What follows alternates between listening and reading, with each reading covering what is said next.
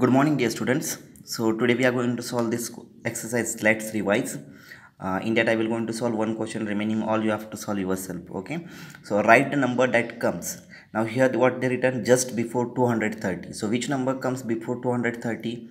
It is 229. So like that read these all questions and complete it now here in between 479 and 381 which number comes that we have to write over here okay? In between 453 and 455 which number comes that you have to write over here?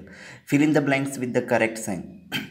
447 448 for this i told you first you check the hundreds place. Here it is 4 here also it is 4 so first digit is same then check the second one that is tens place. Here also 4 here also 4 if second digit is also same then check the third digit that is here 7 and here it is 8 now in this one 7 and 8 which one is greater? 8 is greater. So 8 is greater means 448 is greater than 447 okay? So like this we have to solve this also.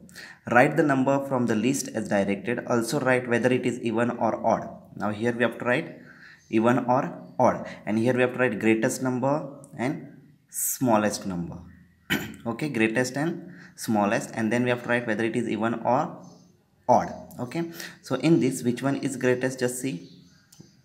445 to 65 175 to 85 495 to 59 just take the first digit 4 2 1 2 4 2 in this 4 is greater but four numbers uh, two numbers are starting from the 4 that is 445 and 495 here 4 4 is there. Here 4 9 is there. So 495 is greatest right? 495 now just tell me this is even or odd? It is odd. Just see the ones place here 5 is there right? And 5 is odd number. So this 495 is odd. Okay like this you have to solve here also. Here you have to find out smallest number. The place value fill in the blanks. The place value of 8 in 686 is dash 8 is on the place of ones tens right? So it is 8 tens. 8 tens is a place value of 8 over here. You can write it as a 80 also. The smallest four digit number is smallest four digit number is 1000 it is the first and smallest four digit number. The number name of 506 is you have to write it in the words. Okay 506 the greatest three digit number is 999 okay now Nilam has 463 shells, Neer has 300 shells and Diva has 496 shells. Who among them has the most number of shells? Now who is having the most? Most means highest. 463, 300 and 496. So 496 is highest right? Now next.